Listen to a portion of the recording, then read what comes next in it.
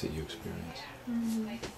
Um, well, the, the first unit that I brought Arts Infusion in was when we started learning about cells um, in science. And so, you know, there's a lot of big words, a lot of complicated functions and things, you know, that, that happen in a cell. And so um, every single day that we came into that classroom, like as they walked in the door, I handed them a blank sheet of paper. And there was a, a little cup of crayons on their desk, you know, and it's, it's little things like that that are just joyful when you're in fifth grade. Um, and so my instruction was literally all drawn. So I would say, you know, like, draw a circle.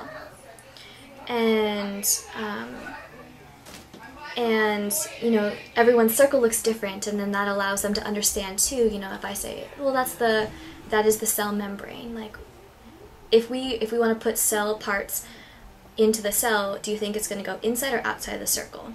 And that's something that like is very tangible and it's an i mean it's an artistic decision but that that instantly creates that understanding that if without art you would never have known. And then even just the act of everyday drawing okay well i know the we're going to draw the mitochondria. It looks like a jelly bean with squiggly lines.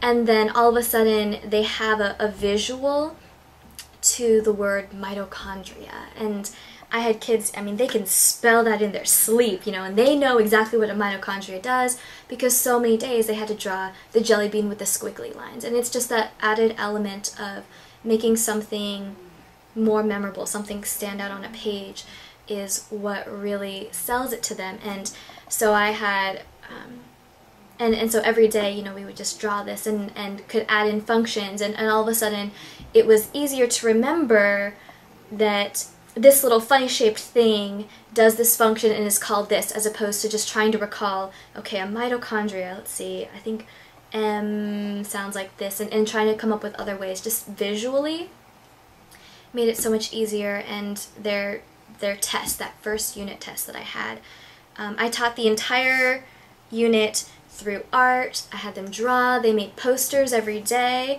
and I hung them up all around the wall. But for their unit assessment, I still gave them the standard benchmark prep, multiple choice, and open response questions, though they had never seen it throughout the entire unit. And the scores on that test were off the charts. I had over 80% of my students get a, a A or a B, which I had never had before. And I had not given them a single multiple choice that entire unit, not a single open response that entire unit. Um, and it was just really cool to see that the arts infusion is really infusing, like making it part of their soul then instead of just their mind, like getting them to use every part of them um, because then they attach feelings and emotions when you draw, when you're in, when you're in creativity, then that that helps to activate other parts of you, and so then all of a sudden that memory is so much deeper. And on that test, even though it was a paper pencil test, um, I didn't have them draw anything. They knew it inside and out because they had drawn it. Um, and then even when we got to the benchmark, um, they had a they had an essay question on the benchmark is our end of state exam. They had a question on cells, and I had so many kids raise their hand and, and say, like, Miss Le, why why do they give us such easy questions? Or look, they left out this part. Why don't they include this? They're missing this part.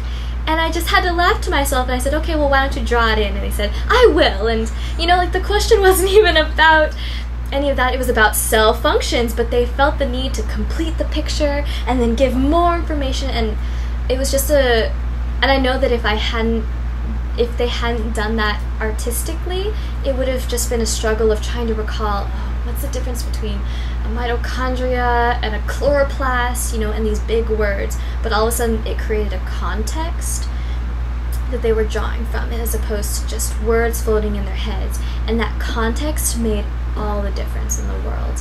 Um, tests, not just in the classroom, I mean, in the classroom there was the joy factor, they wanted to draw, they got to see their creations all around the room. It was colorful, it was beautiful. Um, and that's a that's an in the moment thing that kids see. I mean, they know, wow, I created something beautiful. Wow, that's really complicated, but I understand it and I can draw it for you. But then on a completely separate level, like as a teacher, I know even though you're enjoying yourself right now, I know that you are learning way more than you would have if I just handed you a textbook. And that's beautiful when it's a win